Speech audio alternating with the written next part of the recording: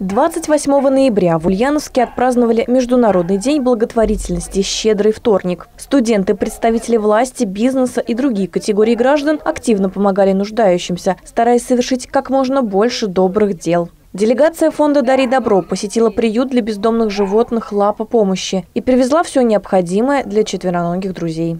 Мы привезли необходимые медикаменты, потому что животные, которые попадают в приют, они им необходимо лечение, многие проходят стерилизацию, а, кому-то необходимы прививки, те или иные лекарства. Приют находится в поселке Октябрьский при Ульяновской сельскохозяйственной академии. Животные сюда попадают чаще всего больные и раненые. Студенты академии ухаживают за ними, а опытные ветеринары спасают жизни. В этот день ветеринарный врач Дмитрий Акимов провел сложную операцию по удалению опухоли у собаки Лады, и ее жизни теперь ничего не угрожает. У Дмитрия Юрьевича на попечении десятки животных, и почти всем им нужна серьезная медицинская помощь и реабилитация.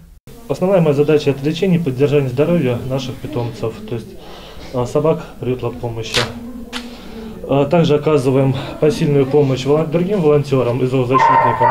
Вот эта собака Лада, она является а, жительницей другого небольшого частного приюта. Когда собака пойдет на поправку, ею займутся волонтеры. Одна из них – Юлия Фатхудинова, студентка пятого курса сельскохозяйственной академии. Еще с первого курса девушка активно помогает животным приюта. Приют, например, кости, а, сухой корм, медикаменты какие-то, и я привожу их, ну, то есть на своем транспорте вожу.